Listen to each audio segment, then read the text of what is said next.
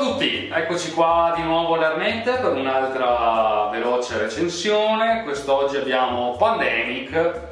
Pandemic, gioco estremamente conosciuto dagli amanti dei giochi scatola e noi qui in bottega abbiamo la versione Pandemic una nuova sfida che a differenza del Legacy che è giocabile soltanto per massimo di 4 giocatori per un'unica partita perché viene intaccato il gioco durante la partita appunto invece questa versione è rigiocabile all'infinito un gioco complesso dai 10 anni in su, un gioco cooperativo estremamente divertente, rigiocabile. Abbiamo anche la versione Pandemic Zona Rossa, Nord America, ambientata appunto nel Nord America, questa volta, a differenza di questo che è per gioca 4 giocatori fino dai 2 a 4, questo è uguale, è dai 2 a 4.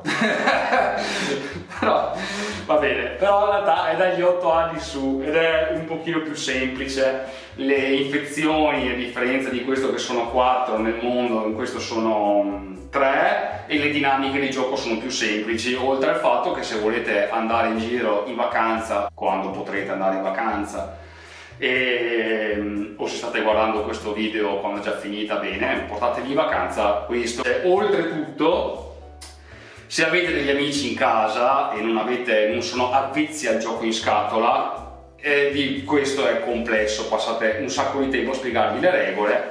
Una volta imparate in realtà il gioco è semplicissimo però con questo qua sicuramente è più semplice iniziare a giocare quindi potreste fare un'escalation questo, poi questo e poi il Legacy, che io non ho ancora giocato, ce l'ho ancora in celofanato a casa. Bene, iniziamo a vedere cosa c'è dentro alla scatola. È tutto pronto, già qualche città è infettata perché siamo appunto nel corso di una pandemia mondiale. Ottimo. Allora, quindi siamo una squadra di ricerca, dobbiamo cercare di salvare l'umanità da eh, quattro virus che viaggiano contemporaneamente nel mondo. Questo gioco cooperativo, quindi noi insieme dobbiamo sconfiggere il gioco. Un gioco che ha più livelli di difficoltà sulla base di quante carte epidemia andremo ad inserire nel nostro mazzo di partenza.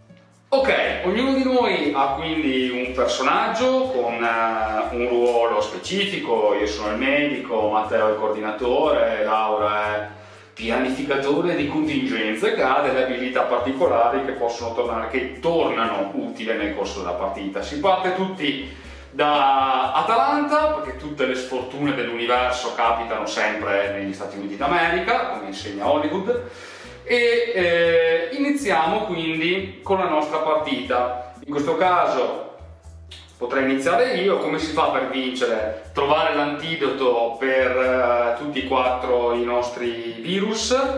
Per andare a debellare un virus servono 5 carte dello stesso colore e non è per niente semplice riuscire ad arrivare a queste 5 carte aggiungerei alla fine di ogni turno si pescano delle carte su cui emergono, cioè appunto un, un, nuovo, un nuovo, contagio, Los Angeles, ok?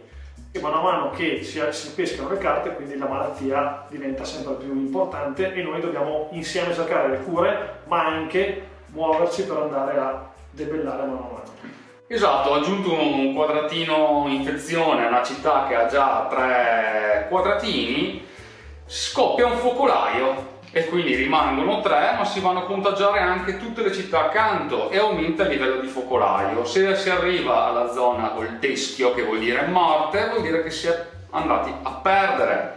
È veramente, veramente complesso, estremamente divertente, serve strategia e molta comunicazione tra i giocatori per trovare la strategia migliore per andare a sconfiggere il nostro virus. Ecco dunque arrivati alla fine della recensione, questo gioco come gli altri che abbiamo recensito li trovate nella nostra bottega di Ermete e ci vediamo al prossimo video.